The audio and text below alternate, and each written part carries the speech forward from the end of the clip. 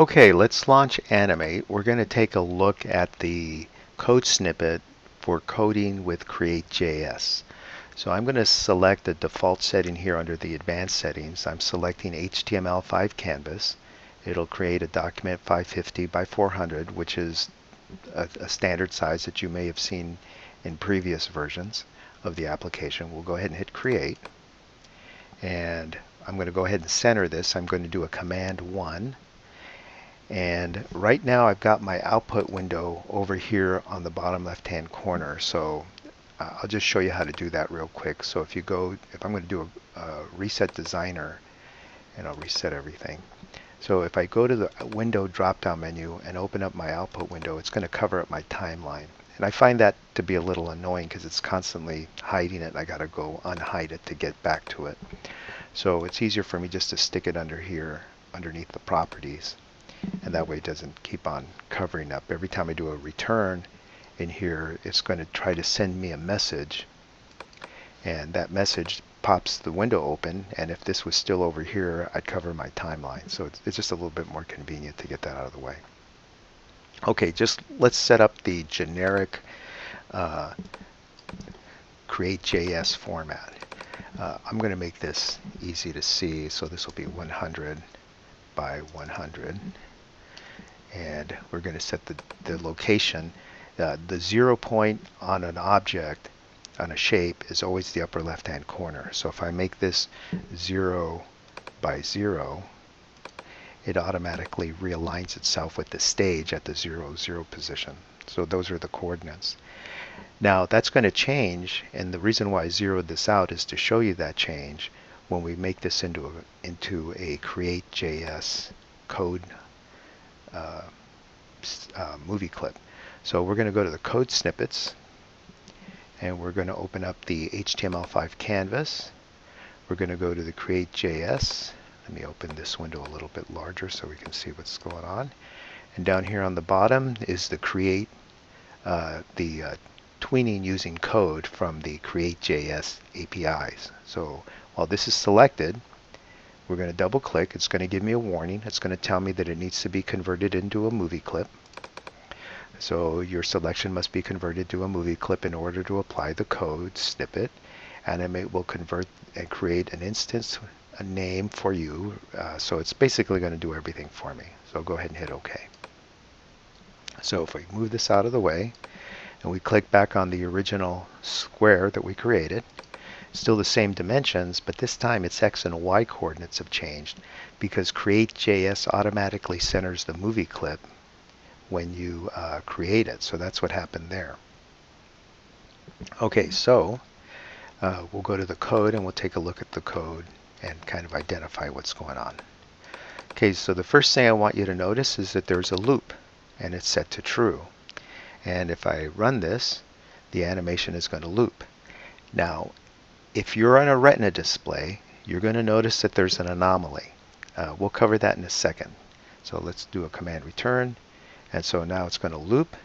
Now if you were on a retina display, this would have gone down further and it would have disappeared. And it has something to do with the fact that you're working with roughly double the resolution. And it's still animating the right way. And if you wait long enough, eventually it'll drop down the way this one is and it'll disappear again. And uh, But for now, there's a loop set up. And uh, to turn the loop off, you would change this to false. Okay, now let's get rid of that problem that we're running into with the uh, resolution. The X that's being called out over here is the current target. The target is what's being animated. The target is being assigned the movie clip on the stage. So this is movie clip number one and in the code over here we're taking movie clip number one and we're assigning it to the variable called target. And so then the whole animation takes place because this target now is actually referencing movie clip number one. So now here in this X colon, we're referencing where the new location is supposed to be. And it's looking at the target's X position and it's taking the X position and it's using that as a reference. So if we come back over here and we look at the X position, we'll see that the target is set to 50. And that means that this over here is actually the value of 50. So we can manually set it up that way and we won't notice a difference in the animation. Here's where the problem occurs with retina displays. Safari is trying to recognize that you're working with a display that's being converted to a retina display and Canvas is trying to use the actual resolution. And so one problem tries to fix the other and the canvas height gets converted and you're a lot better off just calling the explicit height or width if you know whatever the canvas is. So in this case the height is set to 400 so if I change this to 400 I'm now essentially not taking advantage of the canvas width and height options which also exist down here as well uh, this in here is going to on, on my display it's going to look like nothing's changed but if you've got a retina display that'll fix it. So you need to go to everywhere where it says canvas width or canvas height and type in the actual number. So now we're working with the width which is 550 550 and so rotation is fine, a wait is fine, X scale is fine, so here's more canvas references, and that's the width. So that's also 550. And here's the canvas height, which is 400. Regardless whether you're working on a retina display or a high definition display or not, you need to get rid of this canvas.height or canvas.width because if you generate it and it looks good on your non-retina display, when somebody opens it up on a retina display, it's going to look bad. So get rid of this canvas.height or canvas.width even if you're not on a retina display. So now we won't notice a difference in this display but if you've got a retina display it'll look correct. So if we run this you should be seeing this now. Now in order to get a better feel of what's going on in the background I'm going to go ahead and change the background color. You don't have to do this. It's just I it's just going to make it easier to understand what's going on. So I'm going to do two things. First, I'm going to click on the on the stage and I'm going to change the background to a light gray so I can see it. And the other thing I'm going to do, let me close my code snippets, I'm going to give myself a pin over here to open up another preview. Every time I click on an object, my, my code disappears and then I have to come back over here.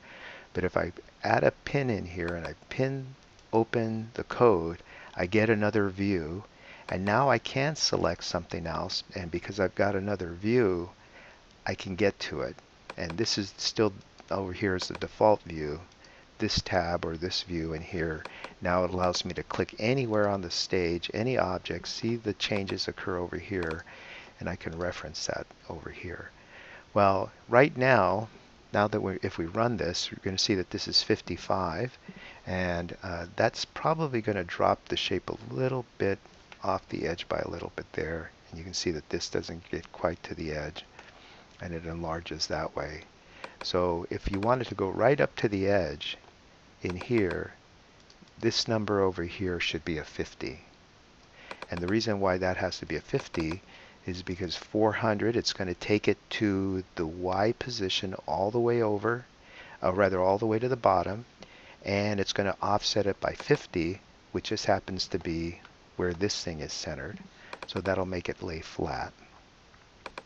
Over here that should also be 50 and let's see if I've got any other 50s and I think that's it.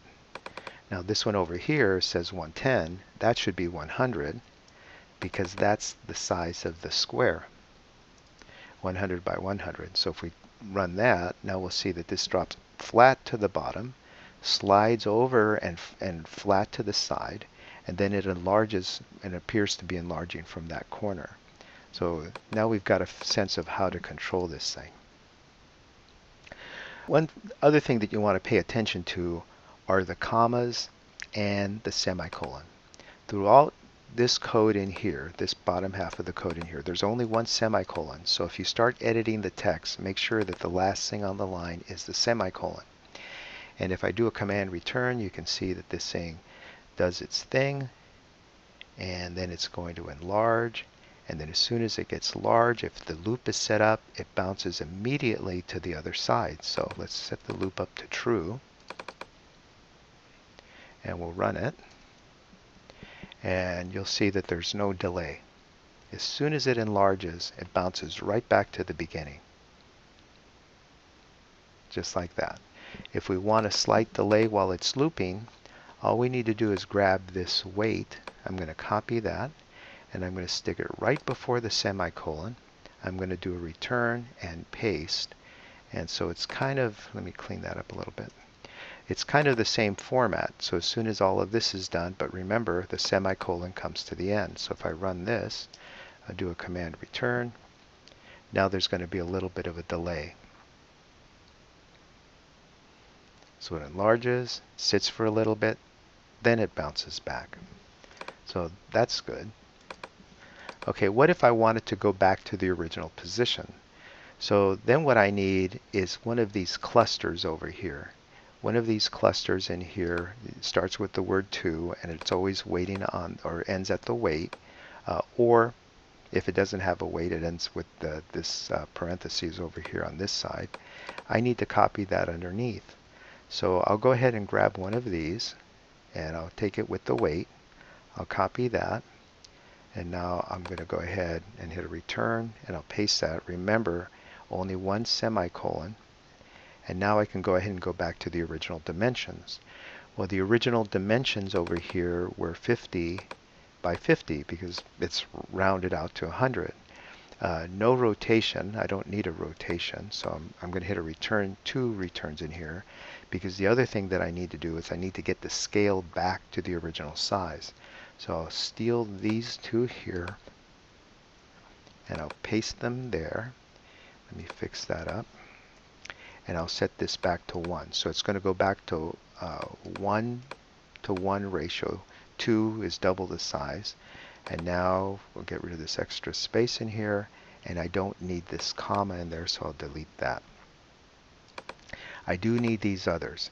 If I forget a comma, if I delete this and I try to run it, I'm going to get squat. It's got a problem with the quote. And that's because I forgot this comma over here. So let me do an undo on that. And so the comma comes back right over here. And now when I run it, it's going to work. I'm going to get it's going to loop. It's going to get large.